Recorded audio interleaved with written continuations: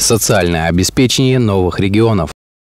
Жители Донецкой и Луганской народных республик, Херсонской Запорожской областей начнут получать пенсии, пособия, льготы, образование и бесплатную медпомощь по российским законам. Индексация и надбавки пенсий также будут проходить в том же объеме, что и по всей стране. Нуждающиеся семьи с детьми смогут оформить единое пособие.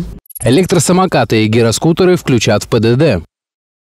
Электросамокаты, гироскутеры и иные средства индивидуальной мобильности внесут в правила дорожного движения. Максимальная скорость передвижения на них 25 км в час. При этом рассчитывать ее необходимо, исходя из приоритета пешеходов. Помимо этого, такой электротранспорт должен весить не более 35 килограммов. Их движение начнут регулировать специальными дорожными знаками. Перерасчет платы за вывоз мусора. Граждане смогут платить меньшую сумму за вывоз мусора, если отсутствовали в своем жилье более пяти дней подряд. Для этого необходимо до отъезда или не позднее, чем за 30 дней после возвращения обратиться к оператору ТКО или управляющую компанию с заявлением о перерасчете с подтверждающими документами. Билеты на самолет, поезда и автобусы, турпутевки или прочие документы. Запрет работать водителем такси для судимых за тяжкие преступления.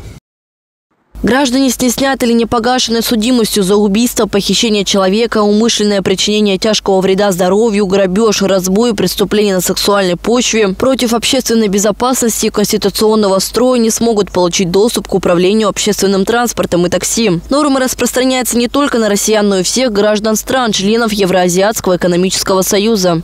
Защита животных. Чтобы защитить животных от жестокого обращения в зоомагазинах и на птичьих рынках, правительство Российской Федерации начнет утверждать требования к местам их продажи. Это поможет исключить случаи, когда питомцы содержатся в тесных и грязных клетках без надлежащего ухода и ветеринарной помощи. Ужесточение выдачи лицензий на оружие. Граждане не смогут получить лицензию на приобретение, экспонирование или коллекционирование оружия, если они проходят подозреваемым или обвиняемым в умышленном преступлении. Или же в отношении них правоохранители выдали заключение о наличии опасности нарушения прав и свобод граждан, угрозы государственной или общественной безопасности. Получение земли от государства. Россияне с марта 2023 года смогут быстрее получить землю от государства. Сроки согласования решения о предоставлении участка, находящейся в государственной или муниципальной собственности, уменьшатся. Так, срок предоставления земли сократится с 30 до 20 дней, а при согласовании схемы расположения земли на кадастровом плане с 45 до 30 дней.